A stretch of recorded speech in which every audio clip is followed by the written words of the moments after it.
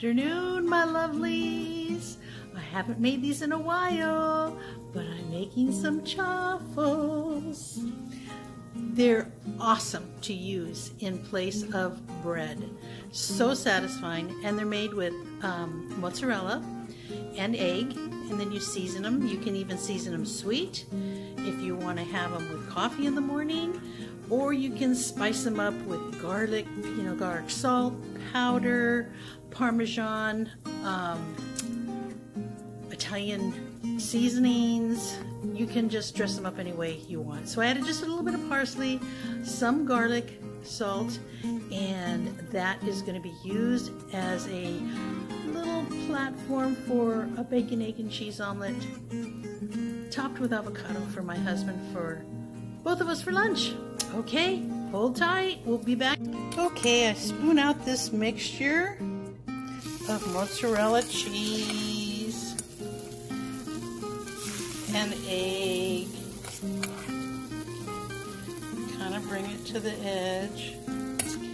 Kind of hard to do with one hand, but you get the idea. Bring it out to the edge.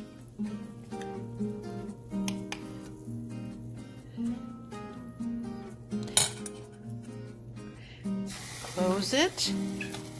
I put my timer on for four minutes and I just let it stay there and cook for four minutes.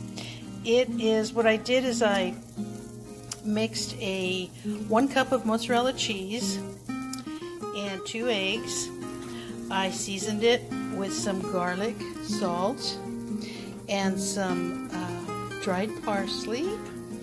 And I'm going to you know, mix it all together and then you just put it in your chaffle maker and you come out with these fabulous, fabulous chaffles that you can use like bread. But it is keto and hardly has any carbs at all. It's simply divine. And what I'm going to do is make a, a bacon, egg, and cheese omelet, put it over the top, and that's going to be our lunch for today. So when I get there, I will videotape it as well. So hang tight.